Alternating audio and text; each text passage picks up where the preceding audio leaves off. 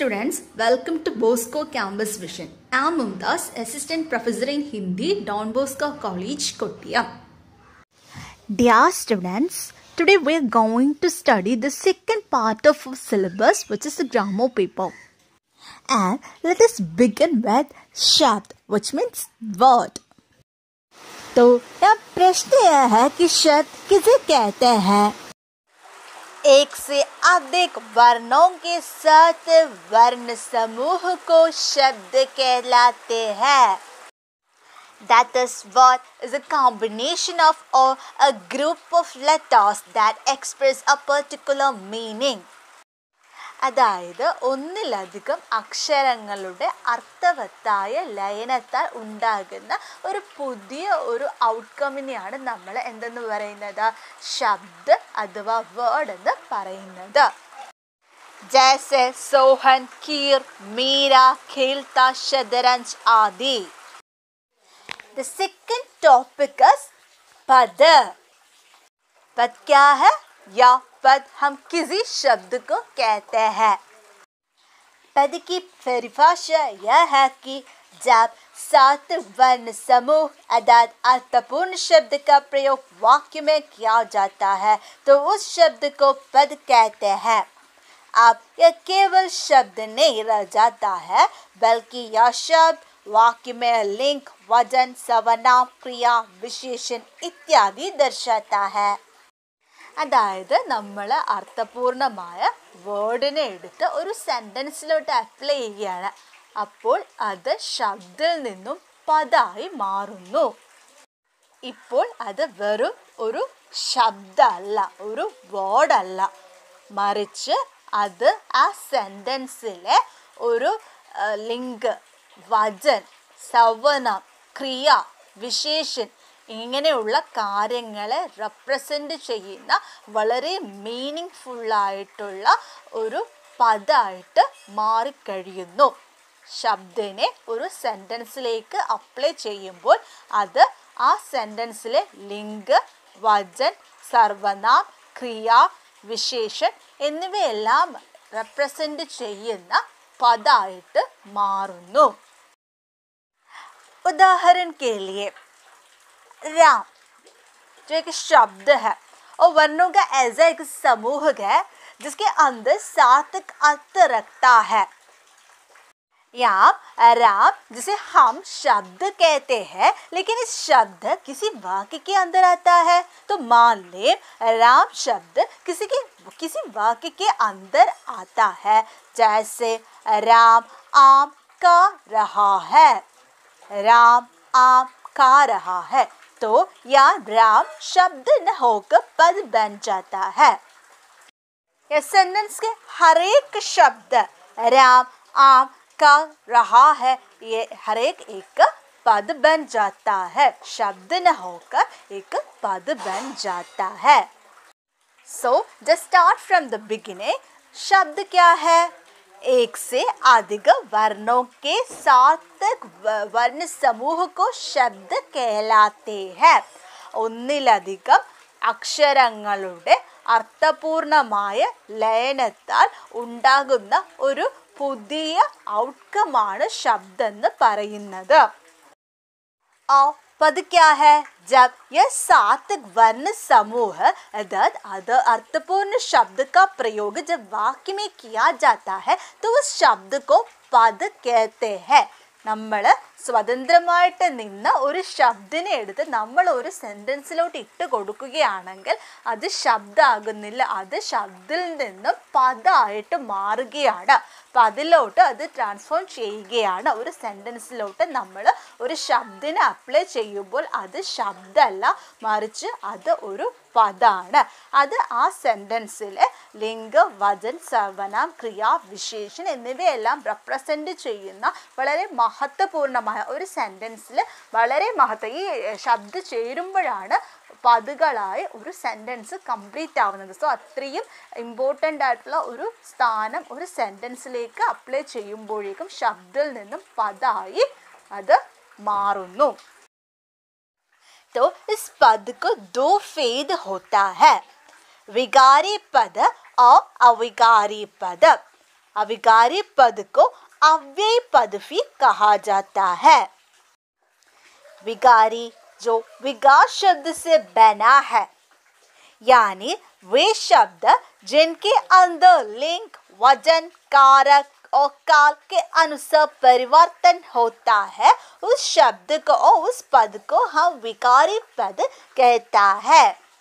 അതായത് നമ്മളൊരു വേർഡ് എടുക്കുകയാണെങ്കിൽ ആ വേർഡിൽ ലിംഗ വചൻ കാര കാൽ എന്നിവ അനുസരിച്ച് രൂപമാറ്റം വരുന്നുണ്ടെങ്കിൽ അതിനെയാണ് നമ്മൾ വികാരി പദെന്ന് പറയുന്നത് सेकंड वर्ड अविकारी पद अविकारी पद क्या है जिन शब्दों के अंदर लिंग वजन कारक और काल के अनुसार परिवर्तन नहीं होता है और उस शब्द को या उस पद को हम अविकारी पद कहते हैं या अव्यय पद कहते हैं അതായത് ലിംഗ വചൻ കാര കാൽ എന്നിവയ്ക്ക് അനുസൃതമായിട്ട് ഒരു വാക്ക് മാറുന്നില്ല എങ്കിൽ അതിനെയാണ് നമ്മൾ അവികാരി പദ് എന്ന് പറയുന്നത് उदाहरण के लिए एक शब्द लटका और इस लटका का बहुवचन क्या है लटके और स्त्रीलिंग क्या है लटकी तो इस शब्द में लिंग वजन कार काल के अनुसार परिवर्तन आता रहता है सो इस शब्द को हम विकारी पद मानता है നെക്സ്റ്റ് ഇതർ എന്ന് പറയുന്ന ഒരു വേർഡ് നമ്മൾ എടുക്കുകയാണെന്നിരിക്കട്ടെ. ഈ ഇതിന്റെ ബഹുവചനം എന്താണ്? ഇതിന്റെ സ്ത്രീലിംഗം എന്താണ്? പുല്ലിംഗം എന്താണ്? നമുക്ക് ഒന്നും തന്നെ ചെയ്യാൻ പറ്റില്ല. ഈ ഇതർ എന്ന് പറയുന്ന വേർഡിനെ ഒരു രൂപത്തിലേക്ക് നമുക്ക് കൺവേർട്ട് ചെയ്യാൻ കഴിയില്ല. സോ ഈ വേർഡിനെയാണ് ഇതുപോലുള്ള വേർഡ്സിനെയാണ് നമ്മൾ എന്തെന്ന് പറയുന്നത്? അവികാരി പദം എന്ന് പറയുന്നത്. സോ വികാരി പദം അവികാരി പദം എല്ലാവർക്കും ക്ലിയർ ആണോ? അപ്പം നമുക്ക് ഇത്രയും പറഞ്ഞത് ഒന്ന് സമ്മറൈസ് ചെയ്ത് പറയുകയാണെങ്കിൽ ഫസ്റ്റ് ശബ്ദം എന്താണ്? ശബ്ദം എന്ന് പറയുന്നത് ഒന്നിലധികം അക്ഷരങ്ങളുടെ അർത്ഥപൂർണമായ ലയനത്താൽ ഉണ്ടാകുന്ന ഒരു വാക്ക് ഒരു ഔട്ട്കമ്മിനെയാണ് നമ്മൾ ശബ്ദം എന്ന് പറയുന്നത്. അതിനെയാണ് നമ്മൾ വാക്കെന്ന് പറയുന്നത്. രണ്ടാമത്തത് എന്താണ്? പദം. പദം എന്ന് പറയുന്നത് ഈ ശബ്ദ ഇങ്ങനെ അക്ഷരങ്ങളുടെ കൂടിച്ചേരലുകൾ ഉണ്ടാകുന്ന അർത്ഥവത്തായ ആ വാക്കിനെ നമ്മൾ എടുത്ത് ഒരു സെന്റൻസിലോട്ട് അപ്ലൈ ചെയ്യുന്നു. അപ്പോൾ ആ സെന്റൻസിലോട്ട് നമ്മൾ ഒരു വാക്കെടുത്ത് അപ്ലൈ ചെയ്യുമ്പോൾ ആ സെന്റൻസിൽ എന്താണ് സജ്ഞ സർവനാമ വിശേഷൻ എന്നിങ്ങനെ പല രൂപമായിട്ട് അത് മാറി ആ സെന്റൻസിനോട് ചേരുന്നു. അപ്പോൾ നമ്മൾ ആ ശബ്ദിനെ എന്തെന്നാണ് പറയുന്നത്? പതെന്ന് പറയുന്നു. അത് ശബ്ദം ഒരു സെന്റൻസിലേക്ക് അപ്ലൈ ചെയ്യുമ്പോൾ അത് ശബ്ദത്തിൽ നിന്നും മാറി പദമായിട്ട് മാറുന്നു.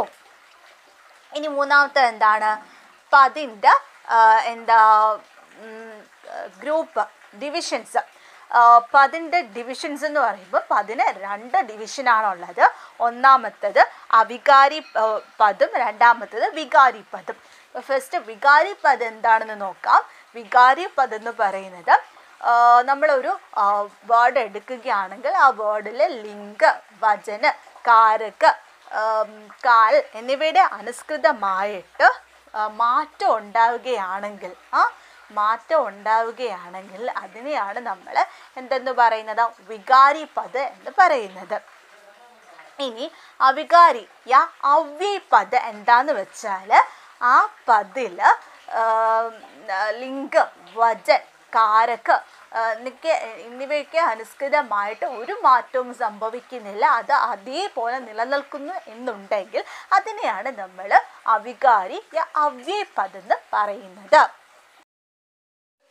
जब हम पदों को विकारी और अविकारी दो रूपों से बांटना पड़ता है तो इसे हम पद के फेद कहलाता है और पदों के फेदों के पहले विकारी वो चार प्रकार के पदों से मिलकर बना है यानी इसके अंदर चार पद होते हैं എന്താ പറയുന്നത് വികാരി പദം പതിൻ്റെ ഫസ്റ്റ് ഡിവിഷനായ വികാരി പദ് അതിനുള്ളിൽ നാല് തരത്തിലുള്ള പദ് അടങ്ങിയിട്ടുണ്ട് അവ ഏതൊക്കെയാണ് സഖ്യ സവന വിശേഷൻ ആ ക്രിയ സഖ്യ സവന വിശേഷൻ ക്രിയ എന്നിങ്ങനെയുള്ള നാല് പദാണ് വികാരി പതിൽ അന്തർഗത അതിനുള്ളിൽ സ്ഥിതി ചെയ്യുന്നത്. നമ്മളിത് പഠിക്കാൻ പോകുന്നത് വികാരി പതിൽ ഫസ്റ്റ് വൺ സഖ്യ which is known as noun in അംഗ്രേസി and uh, നാമം ഇൻ മലയാളം.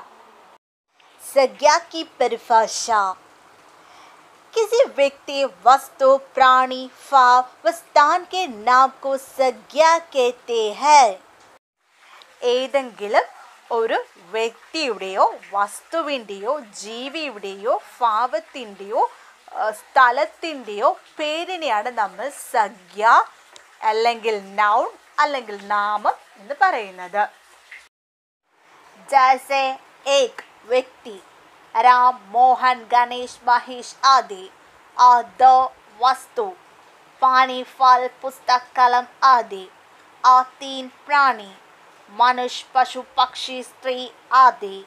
और चार फाव, अच्छाई, बुराई, प्रेम, झूठ आदि। और पाँच स्नान, गाँव, शहर, दिल्ली, आगरा आदि। नेक्स्ट टॉपिक संज्ञा की फेद। संज्ञा को मुख्य रूप से तीन फेद होता है, वो है व्यक्तिवाचक संज्ञा अथवा प्रॉपर नाउन जातिवाचक संज्ञा अथवा कॉमन नाउन और भाववाचक संज्ञा अथवा एब्स्ट्रैक्ट नाउन व्यक्तिवाचक, जातिवाचक और भाववाचक। और इस जातिवाचक को दो रूप से बांटा है वो है द्रववाचक संज्ञा, यानी मटेरियल नाउन और समूहवाचक या समुदायवाचक संज्ञा, यानी कलेक्टिव नाउन्स व्यक्तिवाचक संज्ञा की परिभाषा। जो शब्द किसी विशेष एवं निश्चित व्यक्ति, स्थान या वस्तु का बोध कराता है, उन्हें व्यक्तिवाचक संज्ञा कहते हैं। ഒരു വേർഡ് ആ വേർഡ് ഏതെങ്കിലും ഒരു പ്രത്യേക വ്യക്തിയുടെയോ സ്ഥലത്തിന്റെയോ വസ്തുവിന്റെയോ പേരാണ് സൂചിപ്പിക്കുന്നതെങ്കിൽ അതിനെയാണ് വ്യക്തിവാചക സംഖ്യ എന്ന് പറയുന്നത്. ഇവിടെ നമ്മൾ പ്രത്യേകം നോട്ട് ചെയ്യാനുള്ള ഒരേ ഒരു പോയിന്റ് എന്താണെന്ന് വെച്ചാൽ ഒന്ന്. ഒന്നെന്നുള്ള പോയിന്റാണ് ആ ഒന്ന് എന്ത് വേണമെങ്കിലും ആകാം. ചിലപ്പോൾ അതൊരു വ്യക്തിയാകാം അതൊരു സ്ഥലമാകാം അതൊരു വസ്തുവാകാം ഒരു ജീവിയാകാം. അതുപോലെയുള്ള എന്തുമായിക്കോട്ടെ പക്ഷെ അത് എന്താകാനേ പാടുള്ളൂ അതിന്റെ എണ്ണം ഒരെണ്ണമാകാനേ പാടുള്ളൂ. അങ്ങനെയുള്ള ആ ഒന്നിനെയാണ് നമ്മൾ വ്യക്തിവാചക് സംഖ്യ എന്ന് പറയുന്നത്. जैसे സ്വാമി ദയാനന്ദ സരസ്വതി ആര്യ സമാജ് കി സ്ഥാപന കി ദി. സ്വാമി ദയാനന്ദ സരസ്വതിയാണ് ആര്യ സമാജം സ്ഥാപിച്ചത്. അപ്പം ഇതിനകത്ത് നമ്മൾ സ്വാമി ദയാനന്ദ സരസ്വതി എന്നത് കുറച്ച് ബോൾഡാക്കി തന്നിരിക്കുകയാണ്. ഇത് ഏത് നൗണാണ് എന്ന് എടുത്ത് എഴുതാൻ പറയുകയാണെങ്കിൽ എന്താണത്? വ്യക്തിവാചക് സർഗിയാണ് പ്രോപ്പർ നൗണാണ് കാരണം എന്താന്ന് വെച്ചാൽ സ്വാമി ദയാനന്ദ സരസ്വതി എന്നുള്ളത് ഒരു വ്യക്തിയുടെ പേരാണ് ആ ഒരു വ്യക്തിയാണ് ആര്യ സമാജം സ്ഥാപിച്ചതായിട്ട് ഇവിടെ സൂചിപ്പിക്കുന്നത് അതുകൊണ്ട് തന്നെ സ്വാമി ദയാനന്ദ സരസ്വതി എന്നത് ഒരു വ്യക്തിവാചക സംഖ്യയാണ് दूसरा उदाहरण हिंदी साहित्य में छायावाद का प्रमुख महाकाव्य कामायनी है ഹിന്ദി സാഹിത്യത്തിലെ ഛായാവാദി യുഗത്തിലെ ആ, പ്രമുഖമായിട്ടുള്ള കാവ്യ മഹാകാവ്യം എന്ന് പറയുന്നത് കാമായനിയാണ്. കാമായനി ഹിന്ദി സാഹിത്യത്തിലെ ഛായാവാദി യുഗിലെ പ്രമുഖ കാവ്യമാണ് എന്ന് പറഞ്ഞാൽ ഈ കാമായനി എന്നത് എന്താണ്? ഒരു പ്രത്യേക ബുക്കിന്റെ പേരാണ് കിതാബ് എന്നുള്ള തന്നിരിക്കുന്നത്. കിതാബ് എന്ന് പറഞ്ഞാൽ അതൊരു കൂട്ടമായി പോയേനെ സ്പെസിഫൈ ചെയ്യുന്നില്ല അവിടെ പക്ഷേ ഇവിടെ സ്പെസിഫൈ ചെയ്ത് ഒരു ബുക്കിന്റെ പേര് എടുത്ത് പറഞ്ഞിരിക്കുകയാണ്. സോ അതെന്താണ്? വ്യക്തിവാചക് സംഖ്യ തീസര താജ്മഹൽ ആഗ്രാമി സ്ഥിത താജ്മഹൽ ആഗ്രയിലാണ് സ്ഥിതി ചെയ്യുന്നത്. അപ്പം ഇവിടെ ആഗ്ര എന്നുള്ളത് എന്താണ്? ഒരു പ്രത്യേക സ്ഥലത്തിന്റെ പേരാണ് ആഗ്ര. ദില്ലി കേരളം കോട്ടയം എന്നുള്ളതൊക്കെ എന്താണ് ഒരു പ്രത്യേക സ്ഥലത്തിൻ്റെ പേരാണ് അങ്ങനെ ഒരു സ്ഥലം ഇല്ല വേറെ ഇല്ല ഒന്നേ ഉള്ളൂ അതുകൊണ്ട് അതൊരു വ്യക്തിവാചക് സംഖ്യയാണ് The second one जातिवाचक संज्ञा और जातिवाचक संज्ञा की परिभाषा यह है कि जो संज्ञा शब्द किसी प्राणी पदार्थ या समूह की जाति का बोध कराता है वो शब्द जातिवाचक संज्ञा कहलाता है ഒരു വേർഡ് ഏതെങ്കിലും ഒരു അഹ്, ജീവിയുടെയോ പദാർത്ഥത്തിൻ്റെയോ സമൂഹത്തിൻ്റെയോ ജാതിയെ സൂചിപ്പിക്കുന്നതാണെങ്കിൽ കുലത്തിനെ സൂചിപ്പിക്കുന്നതാണെങ്കിൽ അതിനെയാണ് നമ്മൾ ജാതിവാചക് സംഖ്യ എന്ന് പറയുന്നത് ഫോർ എക്സാമ്പിൾ ലക്ക ദില്ലി ജാ രഹാദ. ഇവിടെ ലക്ക എന്നുള്ളത് ആൺകുട്ടി എന്നാണ് ഉദ്ദേശിക്കുന്നത്. ആൺകുട്ടി എന്ന് പറഞ്ഞാൽ എന്താണ്? അത് മൊത്തത്തിലുള്ള ആൺകുട്ടികളെ സൂചിപ്പിക്കുന്ന ഒരു വേർഡാണ് അത് ഒരാളെ സ്പെസിഫൈ ചെയ്തല്ല പറഞ്ഞിരിക്കുന്നത്. അപ്പോൾ നിങ്ങൾ ഇതിന്റെ ബഹുവചനം അല്ല നിങ്ങൾ നോക്കേണ്ടത്. ലഡ്ക എന്ന് പറയുന്ന ഒരു വേർഡ് എടുക്കുകയാണെങ്കിൽ അതിന്റെ മീനിങ് ആൺകുട്ടി എന്നാണ്. ആൺകുട്ടി മുഴുവൻ ആൺകുട്ടി വർഗത്തെയും റെപ്രസെന്റ് ചെയ്യുന്നു. അതുകൊണ്ടാണ് അതിനെ ജാതിവാചക് സംഖ്യയിലേക്ക് കണക്കാക്കുന്നത്. അതുപോലെ രണ്ടാമത്തെ ഉദാഹരണം നോക്കിയേ. മേര വിദ്യാലയ കി പാസ് ഹി ഹെ. എന്റെ വിദ്യാലയം വീടിനടുത്ത് തന്നെയാണ്. ഇവിടെ എന്റെ വിദ്യാലയം എന്നാണ് എഴുതിയിരിക്കുന്നത്. ആ വിദ്യാലയത്തിന്റെ പേര് സ്പെസിഫൈ ചെയ്ത് പറഞ്ഞിരുന്നെങ്കിൽ നമ്മൾ വ്യക്തിവാചക സംഖ്യയിൽ അതിനെ കൂട്ടിയേനെ. ഡോൺ ബോസ്കോ കോളേജ് എന്നതിനകത്ത് വ്യക്തമായിട്ട് പറഞ്ഞെങ്കിൽ നമ്മൾ അതിനെ വ്യക്തിവാചക സംഖ്യയിലേക്ക് കണക്കാക്കിയേനെ. പക്ഷേ ഇവിടെ വിദ്യാലയം എന്ന് പറയുന്ന വേർഡ് എടുക്കുകയാണെങ്കിൽ ആ വിദ്യാലയം മൊത്തത്തിലുള്ള വിദ്യാലയ സമൂഹത്തെ സൂചിപ്പിക്കുന്നു. അതുകൊണ്ട് അതെന്താണ്? ജാതിവാചക സംഖ്യയാണ്. ആദ്യത്തെ നമ്മൾ ലക്കായിൽ ഒരാളുടെ പേര് സ്പെസിഫൈ ചെയ്ത ദീപു എന്ന് പറയുന്ന ഒരു വേർഡ് അല്ലെങ്കിൽ ഒരു പേര് സ്പെസിഫൈ ചെയ്ത് പറഞ്ഞിരുന്നെങ്കിൽ നമ്മൾ അതിനെ വ്യക്തിവാചക സംഖ്യയിലേക്ക് മാറ്റിയേനെ. പക്ഷെ ലക്ക ആൺകുട്ടി എന്നുള്ളത് അത് മുഴുവൻ ആൺകുട്ടി വർഗത്തെയും റെപ്രസെന്റ് ചെയ്യുന്നു. രണ്ടാമത്തെ വിദ്യാലയമോ മൊത്തത്തിലുള്ള വിദ്യാലയ വർഗത്തെയും ആ ഒരു വിദ്യാലയത്തിന്റെ പേര് മാത്രമായിരുന്നെങ്കിൽ നമ്മൾ അതിനെ വ്യക്തിവാദ സഖ്യയാക്കി കണക്കാക്കിയേനെ. പക്ഷേ ഇവിടെ വിദ്യാലയം എന്നുള്ളത് മൊത്തത്തിലുള്ള വിദ്യാലയത്തിനെ റെപ്രസെന്റ് ചെയ്യുന്നു. അതുകൊണ്ട് അത് ജാതിവാചക സഖ്യയാണ്.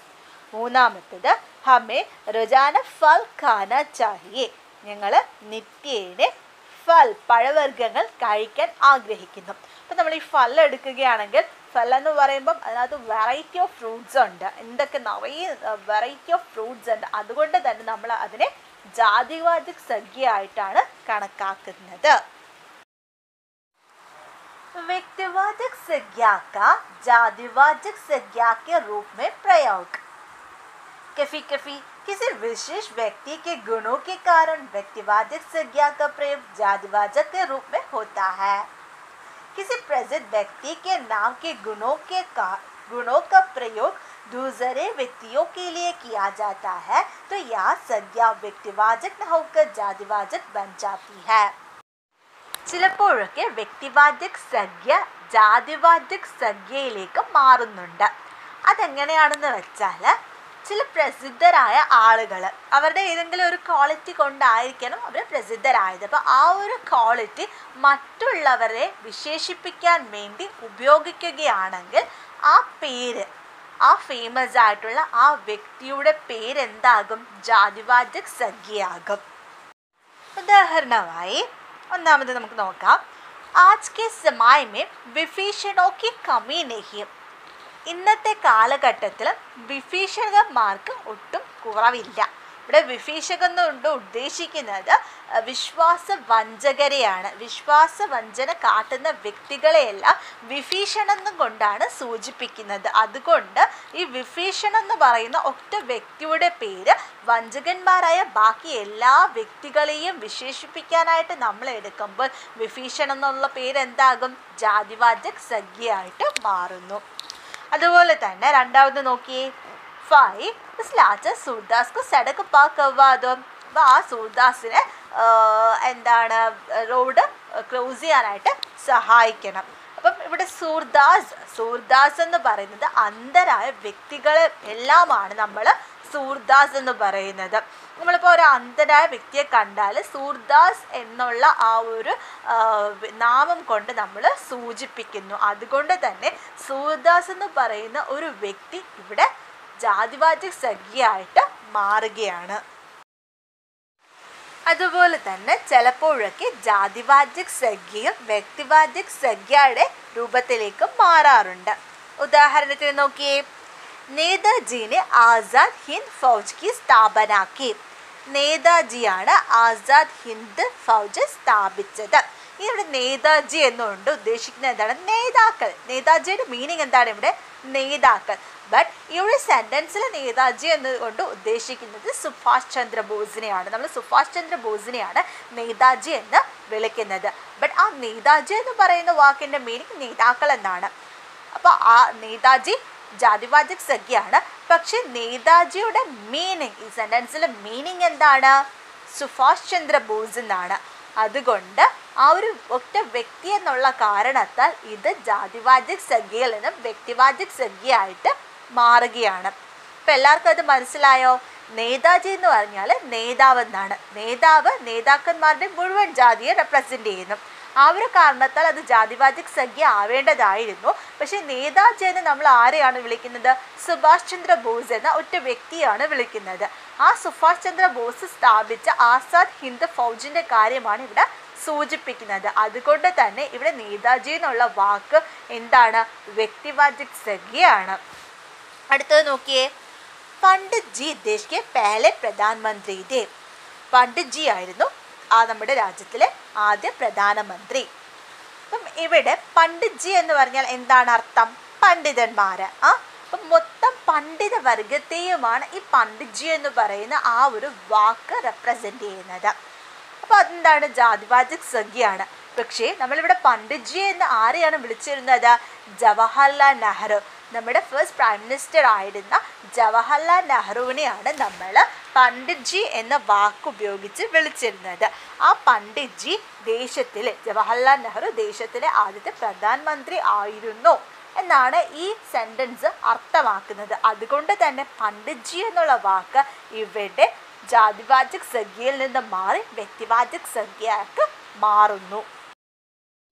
नेक्स्ट टॉपिक जातिवाचक संज्ञा के फेदा वो है द्रव्यवाचक संज्ञा और समूहवाचक संज्ञा और द्रव्यवाचक संज्ञा वो संज्ञा है जो ऐसे पदार्थों या द्रव्यों का बोध करवाता है जिनसे वस्तुएं बनती है ഇപ്പം ദ്രവ്യവാചക സംഖ്യയുടെ ഒന്നാമത്തെ വിശേഷണം എന്താന്ന് വെച്ചാൽ ആ ഏഹ്, ദ്രവ്യവാചക സംഖ്യ അത് ഉപയോഗിച്ചുകൊണ്ട് നമുക്ക് ആ ശബ്ദം ഉം, അതിൽ ഉൾപ്പെട്ട് ഉള്ള സാധനങ്ങൾ ഉപയോഗിച്ചുകൊണ്ട് നമുക്ക് പുതിയ വസ്തുക്കൾ ഉണ്ടാക്കാൻ പറ്റും. അതുപോലെ തന്നെ ഉൻക മാത്തുൽ കിയാജ സെക്താഹെ നമുക്ക് അതിന്റെ അളവും തൂക്കവും ഒക്കെ കൃത്യമായിട്ട് നമുക്ക് മെഷർ ചെയ്യാൻ സാധിക്കും.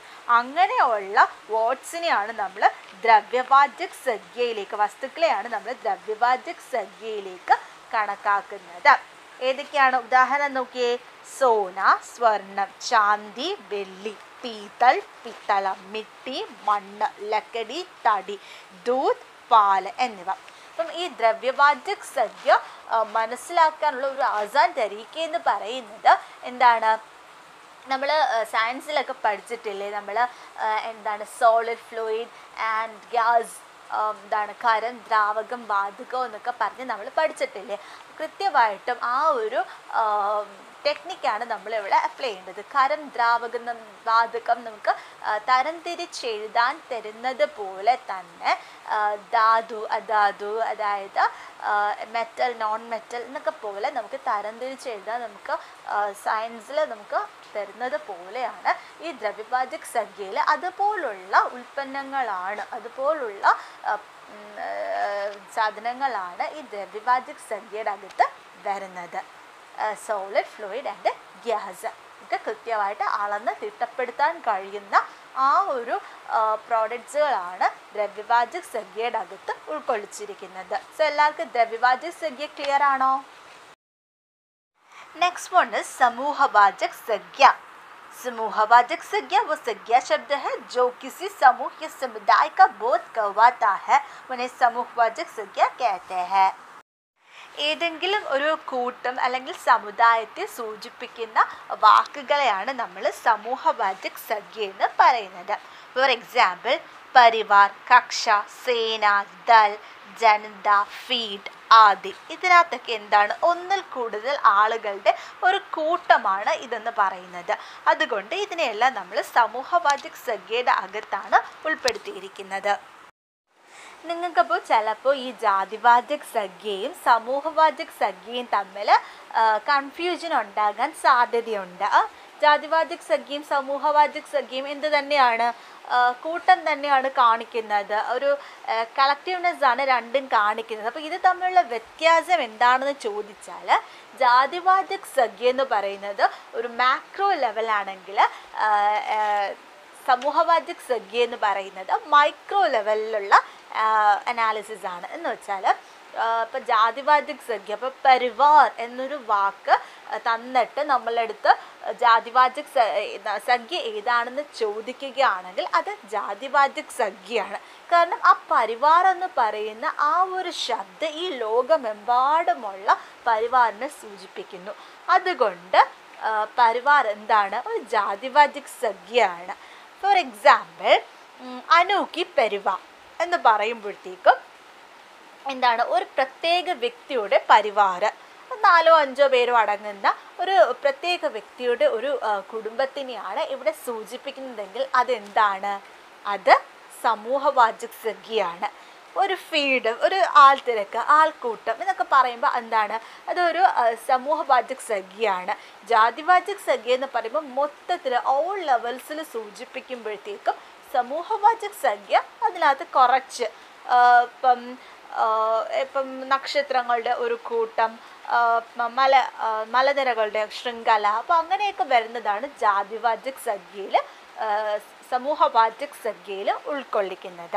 അപ്പം ഞാൻ ഈ പറഞ്ഞ ഒരു കാര്യം നിങ്ങൾ മനസ്സിൽ വെച്ചേക്കണം. എന്ന് വെച്ചാൽ ജാതിവാചക സംഖ്യ മാക്രോ ലെവലാണ്. ഓൾ ഓവർ ദി വേൾഡ് ആണെങ്കിൽ സമൂഹവാചക സഖ്യ മൈക്രോ ലെവലാണ് അത് ഒരു സ്റ്റേറ്റ് ലെവലാണെന്ന് നിങ്ങൾ ആ ഒരു മെത്തേഡ് നിങ്ങൾ മനസ്സിൽ ആലോചിച്ചാൽ മതി. അപ്പോൾ നമ്മുടെ എക്സാമിന് ഇപ്പം ഓപ്ഷൻസ് ആണെങ്കിൽ അതിനകത്ത് ഇപ്പം ജാതിവാചകം സമൂഹവാചകം പരിവാർ എന്നുള്ളത് ജാതിവാചകം സമൂഹവാചകം തന്നിരിക്കുകയാണെങ്കിൽ നമ്മൾ എന്താണ് ബെസ്റ്റ് ഓഫ് ദം ചൂസ് ചെയ്യണം. അത് ജാതിവാചകമാണ്.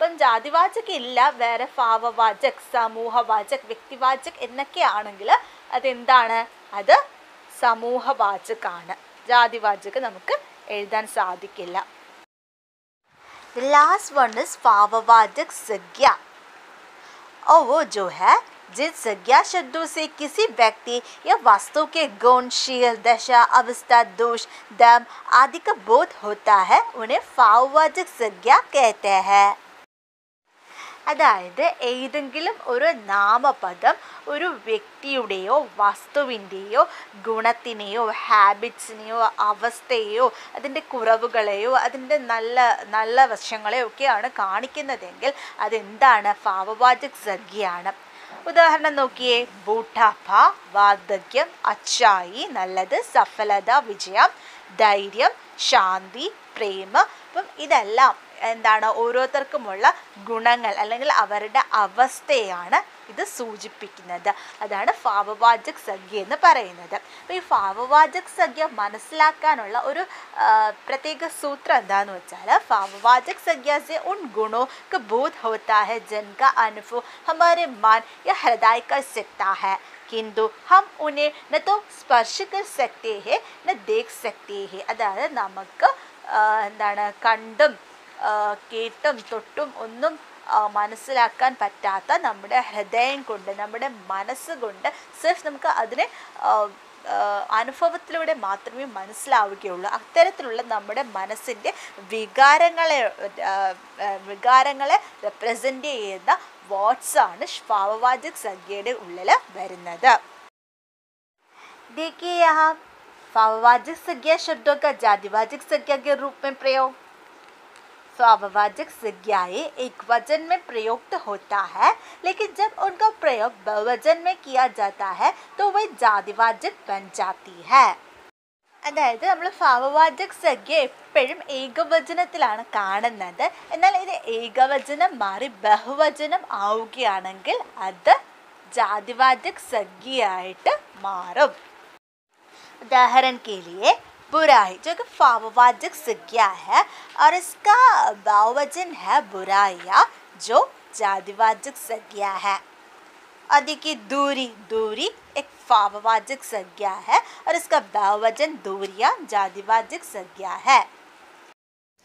यह ध्यान रखने की बात यह है कि कुछ फाववाचक संज्ञाओं का बहुवचन नहीं होता है। फॉर एग्ज़ाम्पल ചഞ്ചലത സുന്ദരത ശത്രുത മിത്രത അത് ശബ്ദവും चंचलताओं सुंदरताओं शत्रुताओं आदि बहुवचन शब्दों का प्रयोग असंगत है അതായത് മിക്കുള്ള ഭാവവാചക സംഖ്യകൾക്കും ബഹുവചനം കാണാറില്ല ഭാവവാചക സംഖ്യകളായ ചഞ്ചലത സുന്ദരത ശത്രുത മിത്രത എന്നിങ്ങനെയുള്ള വേർഡ്സിനെയൊക്കെ നമ്മൾ ബഹുവചനമാക്കിക്കൊണ്ട് ചഞ്ചലതാവോ സുന്ദരതാവോ ശത്രുതാവോ എന്നൊക്കെ ആക്കിയാൽ അത് തെറ്റാണ് മിക്ക ഭാവവാചക സംഖ്യകൾക്കും എന്താണ് ബഹുവചനം ഇല്ല हमको फाववाचक संज्ञाएं चार प्रकार के शब्दों से बनाई जा सकती है वो है जातिवाचक संज्ञा से सर्वनाम से विशेषण से क्रिया से और अव्ययों से पहले जातिवाचक संज्ञा से पहला शब्द देखो मनुष्य मनुष्य एक जातिवाचक संज्ञा है और इसका फाववाचक संज्ञा है मनुष्यदा മനുഷ്യ മനുഷ്യൻ മനുഷ്യത മനുഷ്യത്വം ഇപ്പോൾ മനുഷ്യനിൽ നിന്നും മനുഷ്യത്വത്തിലേക്ക് വന്നപ്പോൾ ജാതിവാചിക് സംഖ്യയിൽ നിന്ന് ഫാജവ ഫാവവാചിക് സംഖ്യയായിട്ട് മാറുകയാണ് അതുപോലെ അടുത്തത് മിത്ര സുഹൃത്ത് ആ മിത്രത സൗഹൃദം മിത്ര जातिवाचक संज्ञा है और मित्रता पाववाचक संज्ञा है और इस प्रकार देव देवत्व नेता नेतृत्व मजदूर मजदूरी चोर ചോരി ശിശു ശൈശവ് പണ്ഡിത് പാണ്ഡിത്യ. സോ ടു കൺക്ലൂഡ് ഇന്ന് നമ്മൾ പഠിച്ച കൺസെപ്റ്റ്സ് uh, ശബ്ദ ഒന്നാമത് ശബ്ദ രണ്ട് പദ മൂന്ന് പതിന്റെ ഫേദ വികാരി പദം അവികാരി പദം നാല് സഖ്യ. സഖ്യയുടെ ഫെയ്ദാണ് നമ്മൾ അഞ്ചാമതായിട്ട് പഠിച്ചത്. മൂന്ന് ഫെയ്ത് വ്യക്തിവാചക് ജാതിവാചക് ഭാവവാചക്. ജാതിവാചകിനെ രണ്ടായിട്ട് സ്പ്ലിറ്റ് ചെയ്തിരിക്കുന്നു. ദ്രവവാചകം സമൂഹവാചകം. ഇത് ഇത്രയുമാണ് നമ്മൾ ഓവറോൾ ഇന്ന് പഠിച്ചത്. എല്ലാവർക്കും ഇന്നത്തെ ക്ലാസ് ക്ലിയർ ആയെന്ന് പ്രതീക്ഷിക്കുന്നു. Thank you for watching